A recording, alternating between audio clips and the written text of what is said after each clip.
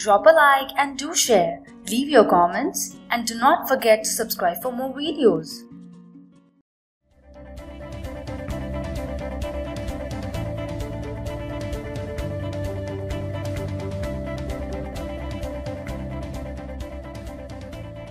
Hello and welcome to Edupedia World. In order to create an accurate uh, model of this aircraft that has the right dimensions, we need a picture like this. This is a blueprint picture of uh, the X-Wing Starfighter and uh, as you can see we've got views from the top, from the side and from the front and back. I will be using the picture from the side and from the top and I need those to be cut out so that I have exactly this picture right here of just the top and this picture right here of just the right side. In order to do that I'll need to use Photoshop. I'm sure you can do this using other imaging image uh, processing programs. So with this uh, layer in Photoshop, I'll press C to get the crop tool and I need the first crop tool right here and then I'll basically pull this in so that it fits around the aircraft. So to move around you hold space and then you can just move around just like in After Effects in the composite in the um, yeah in the viewport. Hold alt scroll to move out. Then I will hit enter and um, since I'm not that good at uh, Photoshop I'm doing this in not the best way. So I'll hit M control A to mark everything control C and I'll then create a new. Hit OK, Control V to paste, and then I will just delete the background in here.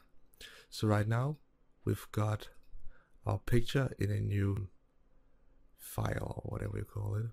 And then I'll go in here and just do Control Alt C to undo. Press C again. And I will now do the same.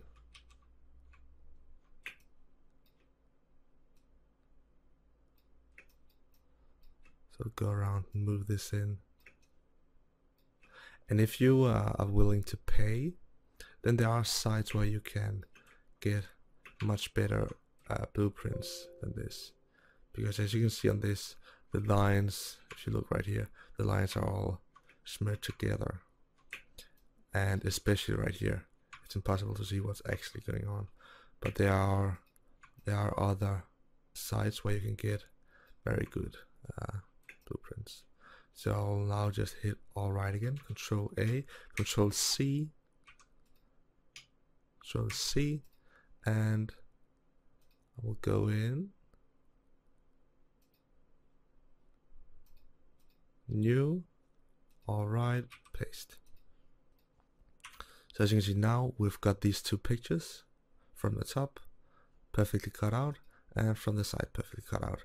But we, what we want to do now is actually get these to be the same size.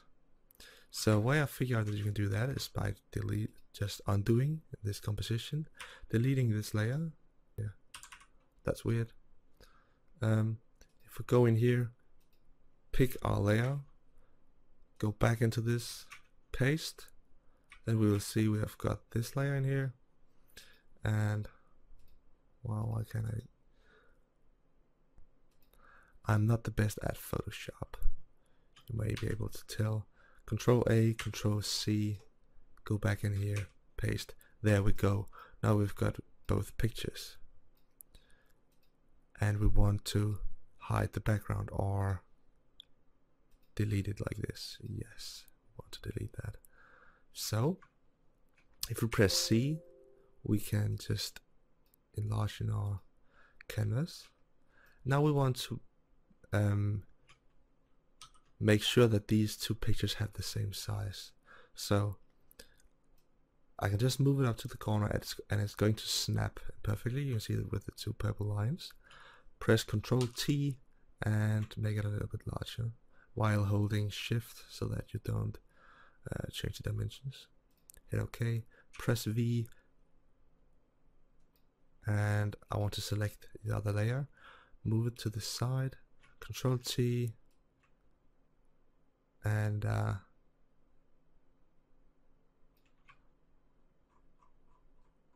I want to make sure they have the right size, the same size, and they do. That means they're going to be they're going to be uh, correct when we go to uh, put them into our composition. So we can crop this down, even though it doesn't really matter. The only thing that matters is that we have got our two layers separated. So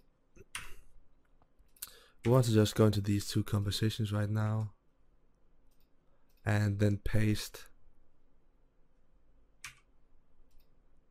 pick one layer copy paste press C and then just crop this in until it fits and that way we know it has the right dimensions and I'm sure you can do this in a better way I'm sorry for not being the best at Photoshop but um, I hope it's alright.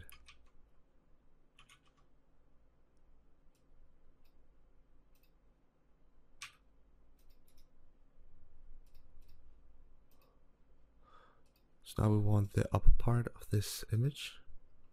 See.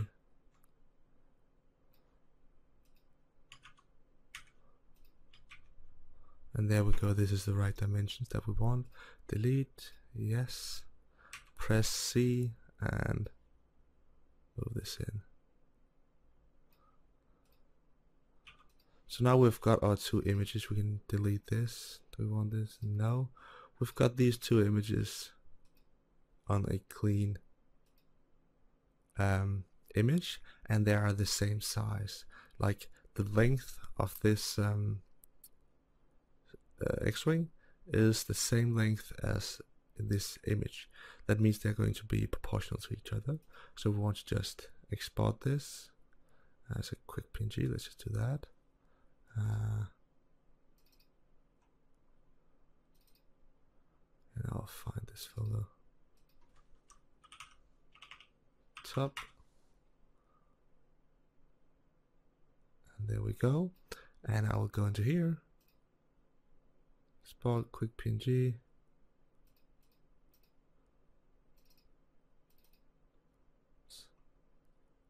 X-wing. Side. And there we go. Now we've got our two images. And I'm just going to undo this. There we go. Bam and wham. We can close this down. And now it's time to do our I call it the calibration so if now we're in just the perspective view I'll create a cube and then I will change the dimensions so that when you look at it from different sides, you can uh, see what side you're looking at it from. If you were to use a cube, then you wouldn't be able to see just the exact side you're looking at it from. So, as you can see right here, the right side looks at it from like the front right here. So, I'd like to rotate, rotate it like that. If you move it forward, it goes this way goes to this direction, but back it goes to the other direction. That's pretty important to know. So if we were to take the side view that we've got right here and drop it in to this view, 4D will place it exactly in the middle and that's exactly as we would like it. Then we can take our top view and throw it in here to the top. And as you can see, this is supposed to be forward and backwards. And um, that fits in this viewport. You can see when we move forward, it goes that direction. Backwards, it goes that direction. But in our top viewport, that doesn't, that's not actually the case. The image is uh, rotated. Therefore we need, to go to options, configure, back, rotation, and we're going to set this to 90 degrees. There we go. And if we see, let's take a look at this cube. If we press T and scale it up, then you can see if we make this fit like this, now it fits exactly in the length, then it should also fit exactly over here, and it does. And there you can see our calibration has worked out perfectly. Rotate this to the side, make a snap by holding. Hold Alt, click, drag, hold Shift to make it snap.